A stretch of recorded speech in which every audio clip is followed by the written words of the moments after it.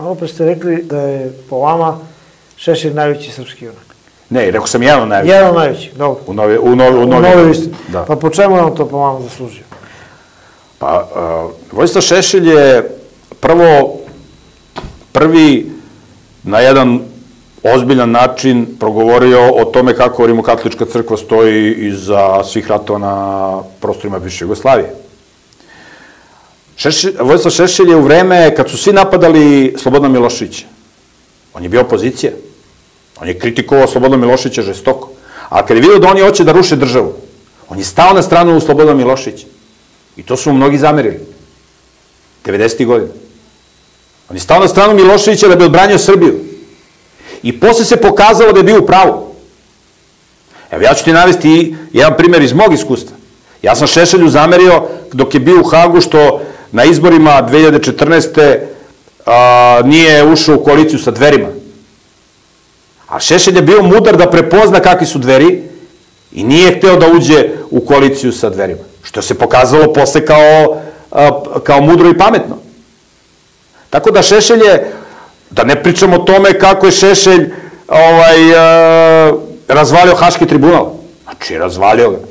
A kako razvalio kad kažete da mu je Vučić pomogao da izađe? Pa jeste mu Vučić pomogao da izađe, ali za tih 12 godina koje on bio, on je iskomprofitovao Haški tribunal do, do krajnjih granice, pokazuje da je to jedna inkvizitorska institucija. On ih je razvalio u svakom pogledu. Znači, tamo i na suđenju iznao dokaze i ovo i pokazuju da su to, da su to, da su to, da su to teroristi, da je to inkvizitorski sud. Tako da je Šešelj uradio i danas Šešelj nije štetočina kao ova goveđa opozicija. On tu nešto kontrira, iznosi neke svoje stavove, ali ne ponaša se štetočinski. Doktore Petroviću, a što je bio najmlađi komunista, sa 17 godina se priključio komunističkoj partiji? Vidi, ti možeš svakom čoveku da pronađeš mane. Ono, ono čime mi treba da se bavimo jeste da li je neki čovek nije zabrano živeti u zabludi, ali je pohvalno izaći iz nje. Znači, kada mi nekog čoveka procenjujemo, mi ga procenjujemo po tome da, šta je on korisno u životu uradio. Ili je uradio on nešto korisno u životu? I šta radi danas? Korisno.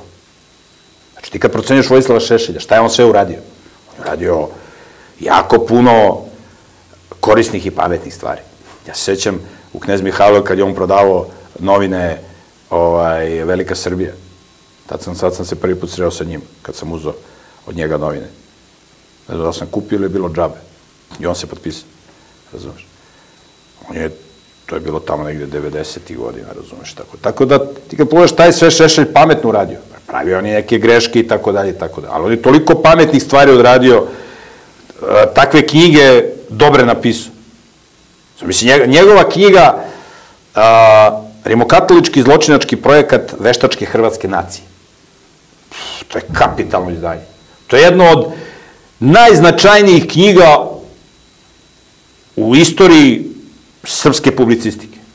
To je jedna od naj, najvažnijih knjiga u istoriji srpskog izdavaštva.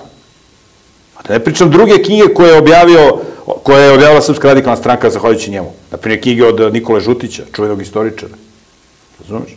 Tako da je, to što je Šešelj kao mlad pravio neke greške i kasnije kao stariji pravio neke greške, mogu ja da pričam sad o nekim njegovim greškama, koje ja sad gledam iz istorijske perspektive, ali to je bilo degutantno. Toliko je on dobrih stvari uradio da je, je vrlo ružno njemu nešto ružno reći.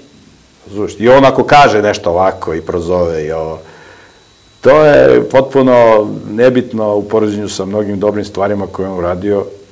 Naravno, može čovjek sve to da upropasti nekim velikim greškama i tako dalje, ali u svom slučaju puno je dobrih i velikih stvari uradio Vojsa Šešelj i po meni on je jedan od najvećih junaka i najvećih intelektualaca srpskih u novijoj istoriji.